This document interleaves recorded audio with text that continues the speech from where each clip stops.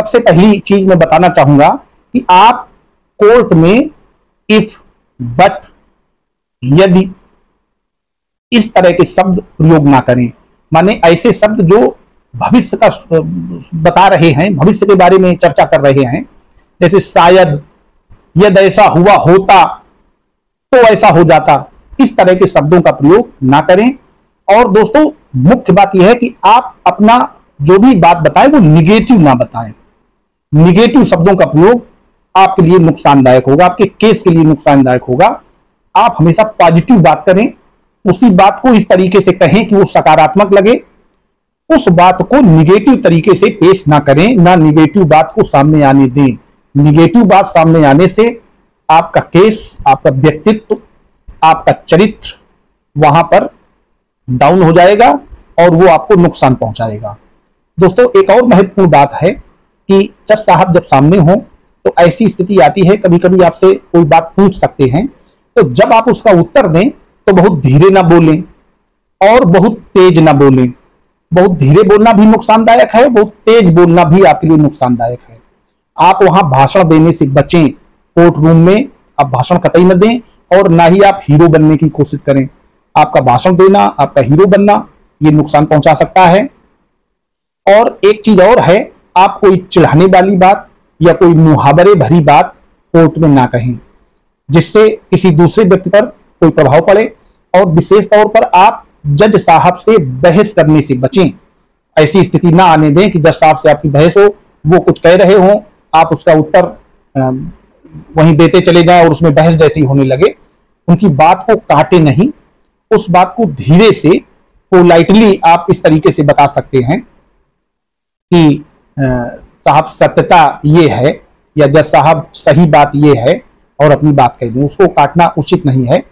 और आप कोई निगेटिव बात ना करें, और संयमित बात करें। मतलब आपको जितनी बात बतानी है, वो इस तरीके से कहें जैसे संयम में कही जाती है।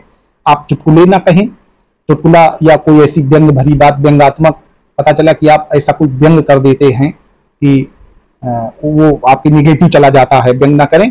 और आप ना तो जज साहब की बात बीच में काटें, या वहाँ वकील साहब आपका आर्गूमेंट कर रहे हैं, या कुछ कह रहे हैं तो उस बात को भी आप बीच में ना काटें। और कभी कभी हमने देखा है कि बहुत सारे लोग वकील साहब की बहस होने के बाद ये कहने लगते हैं, साहब, हमें भी सुन लो। तो वहाँ पर आपका ये निगेटिव रिप्रेजेंटेशन जाता है क्योंकि आप ही ने वकील साहब को चयन किया है, वकील साहब को फ़ीस दी है, और इसके बाद आपकी ही बात वकील साहब कह रहे हैं। और आप वहाँ खड़े होकर के अगर ये कहते हैं कि साहब, हमें भी सुन लिया जाए तो आपको ही तो सुना गया है। आपकी बात वकील साहब के माध्यम से सुनी गई है और फिर आपके यह कहने का उद्देश्य कि साहब, हमको भी सुन लिया जाए, मुझे लगता है निरर्थक है। तो जज साहब तुरंत कहेंगे कि आपने इन्हीं वकील साहब को तो किया है, उनका वकालतनामा आपने साइन किया है, वकील साहब को फ़ीस दी है तो आप ही को तो सुना गया तो ऐसी स्थिति में आप ये ना कहें कि हमें भी सुन लिया जाए। आप अपने वकील साहब को पहले से ही बिल्कुल फिट स्थिति में रखें, सारी स्थिति बता दें। अपना जो भी डिफेंस हो सकता है, बचाव हो सकता है, क्योंकि आपसे ज़्यादा आपके मुकदमे के बारे में और कोई नहीं जानता। आप वकील साहब को जैसा बताएँगे कि साहब, ये ये स्थिति थी, ऐसा ऐसा हुआ था और ये मुकदमा है। अब आप अपने ढंग से प्रेजेंट करिएगा, क्योंकि वकील साहब ने कानून की पढ़ाई पढ़ी है, उनको जानकारी है कि हम किस तरीके से आर्गूमेंट करेंगे, जिसका फ़ायदा आपको मिलेगा। तो प्रयास ये करें कि अपने वकील साहब से आप इस तरीके से बात करें और उनको समझा दें, पूरी बात बता दें। तो वो जिस तरीके से प्रेजेंट कर रहे हैं, क्योंकि वो आपके ही पक्ष में बात करेंगे और ऐसा प्रेजेंटेशन करेंगे जो आपके फेवर में जाए। तो दोस्तों, इस वीडियो में ये चूँकि मुझे ऐसा लगा कि कुछ ऐसे शब्द हैं, जैसे आप कहते हैं कि शायद ऐसा हुआ होगा, मेरी जानकारी में नहीं है, या ऐसा तो है, लेकिन ये इस तरीके के वर्ड कोर्ट में नहीं चलते हैं, ये आपके, आपको नुकसान पहुंचाएँगे। तो दोस्तों, मेरी राय है, इस तरीके के शब्द कोर्ट में प्रयोग ना करें। नहीं शब्द में कोई बुराई नहीं है, आप नहीं कह सकते हैं उस स्थिति में, लेकिन वहाँ बात काटने के उद्देश्य से निगेटिव आप अपनी थिंकिंग दे रहे हैं, वो आपके लिए नुकसानदायक है।